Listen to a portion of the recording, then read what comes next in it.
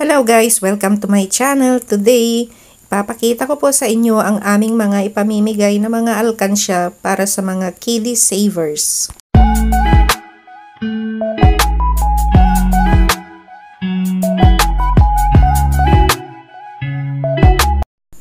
Hello guys! Ito nga po ang ating mga savers. Mga kiddie savers masisipag po sila maglagay ng coins sa kanilang mga alkansya. Kaya ito guys, napuno na, de-deposit na po dito sa Vildeco. Kaya ngayon, sa kasalukuyan, ito yung bata na nag-savings, isi-savings na nila ngayon dito sa Vildeco. Kaya yan, tumutulong siya sa pag-count ng mga coins. Kaya sa mga magulang, nakakatuwa pag ganito na tinuturuan ang ating mga anak na mag-ipon. Kahit yung piso-piso, limang piso, 10 pesos na coins sa kanilang alkansya para sa kanilang kinabukasan. Kailangang i-savings dahil ang savings interest natin dito sa Vildeco ay 5% per annum ang ating kiddie savers ang ating kiddie savings, educational savings. I-deposit lang po dito, saka lang po ma-withdraw after 5 years.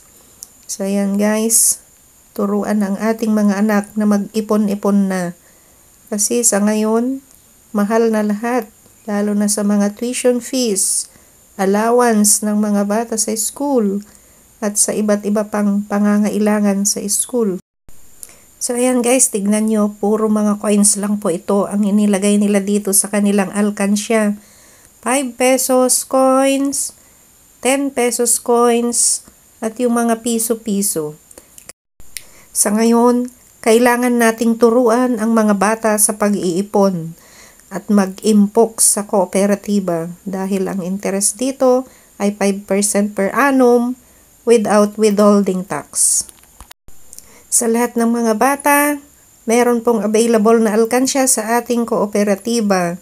Pumunta lang po kayo dito para bigyan namin kayo. Free po ang mga alkansya sa ngayon.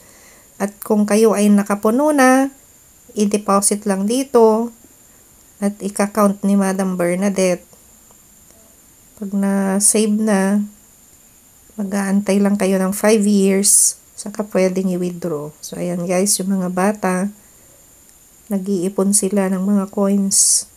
Kaya nakakatuwang tignan ng ating mga anak na marunong silang mag-ipon. Na ituturo sa kanila ang ating pag-iipon. Dahil balang araw, kailangan nilang ma-withdraw ito para sa kanilang pangtustos sa pag-aaral. Ayan guys, available sa ngayon ang ating mga alkansya. Pumunta lang po kayo rito sa Vildeco.